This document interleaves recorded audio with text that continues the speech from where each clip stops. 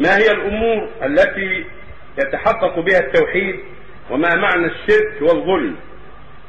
التوحيد يتحقق بإخلاص العبادة لله جل, جل وعلا والإيمان بأنه مستحق العبادة وأنه واحد في ربوبيته واحد في إلهيته واحد في أسمائه وصفاته وأنه سبحانه لا شبيه له ولا شريك له لا في أفعاله ولا في أقواله ولا في صفاته وأنه مستحق العبادة هو الله وحده لا يستحقها سوى سبحانه وتعالى.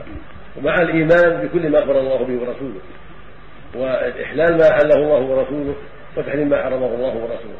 هذا هو التوحيد هذا هو الإيمان والهدى. الذي يكون به العبد مسلما أيوه.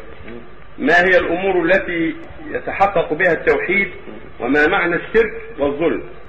أما معنى الشرك والظلم فظاهر. الشرك معناه جعل لله شريكا في العبادة يدعوه مع الله من ولي أو نبي أو شجرة أو صنم.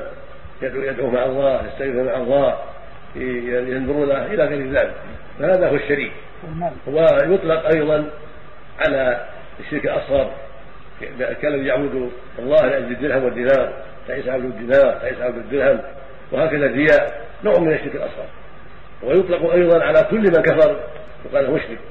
كل من كفر بالله بأن جحد ما أحل الله أو جحد ما حرم الله أو سب الله ورسوله يسمى كافرا ويسمى مشركا.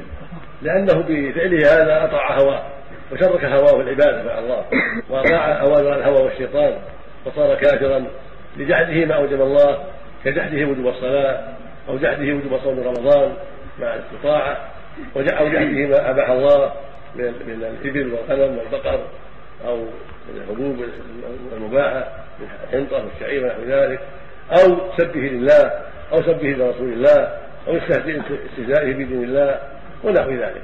هذه أنواع من الكفر والشرك. نعم.